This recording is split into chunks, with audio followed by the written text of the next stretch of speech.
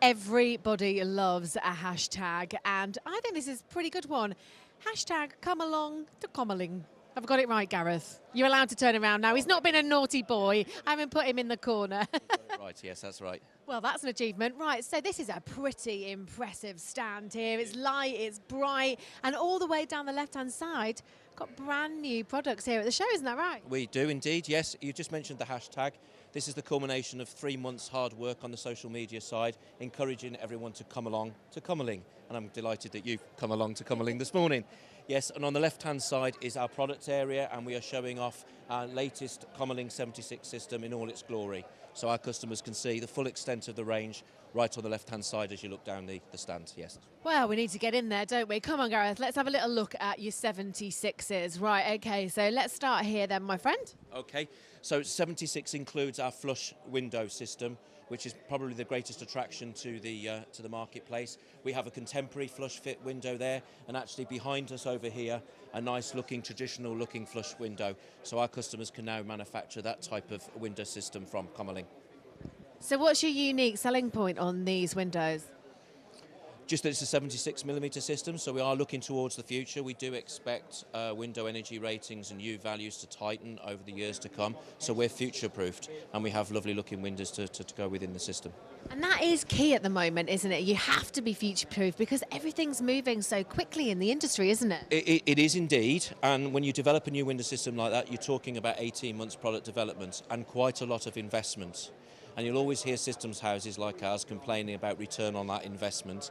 And so you have to think five, ten years ahead as to where the market might be going.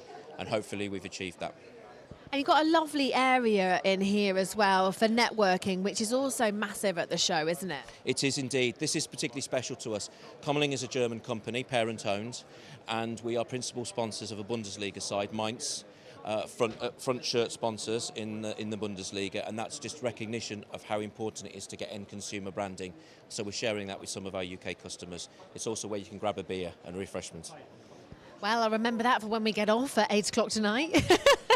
Um, it's late night Tuesday, don't forget about that as well. But it's actually quite important, isn't it, to have um, a late night Tuesday because it means that you can get so many more people um, here on the stand that maybe have been at work and, and fitting all day. Well, that's exactly right. So mo most of our target is the installer market because they don't necessarily get to see the new products coming to the market unless their, their supplier introduces them.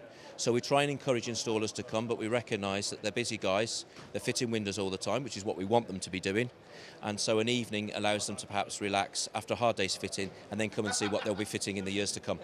Right, Gareth, show me some more of your products. So all the way down the line. Well, if we if we carry on walking through, all of these products are made on the 76 system. We've got balcony doors, French doors, fully reversibles, tilt and turns, casements, and then we go to our, our door range, including the PremiLine uh, patio door, PremiFold uh, bifolding door, and last of all, our PremiDoor 76 lift and slide door, which is a wonderful proCoverTec bronze finish, and it's in the last part of the stand as we get there. So what's been the reaction? We've been open for a few hours now. What's been the reaction from the people coming here and seeing um, your brand new product? Uh, Firstly, they've been very impressed by the stand. Um, in the UK, we haven't invested this much in a, in a stand previously, and the, the, campaign has been marvellous. We've had a lot of people telling us how much looking forward that they are to seeing us at the show and seeing what we've had to offer. So we're really seeing the benefits of the campaign.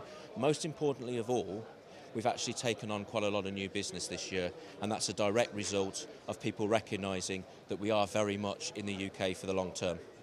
So how important is the Fit Show? Because this is the biggest and one of the only shows that actually focuses on the industry as a whole. How important is that for you as a company? For us this year, critical. Uh, as I said, we, we wanted to, to reinvigorate the brand, and this is exactly the right platform to do it. So we've got a new personality to the business, we've got new product. What better way to show it than National Exhibition? But it really depends on what message you're trying to get across. But as I say, for us, we, we had to be here. And we've actually already indicated we might be here next year as well. There you go. You've had it. Now get yourself down and come and see Gareth because he's got so much here on the stand. Thank you very much.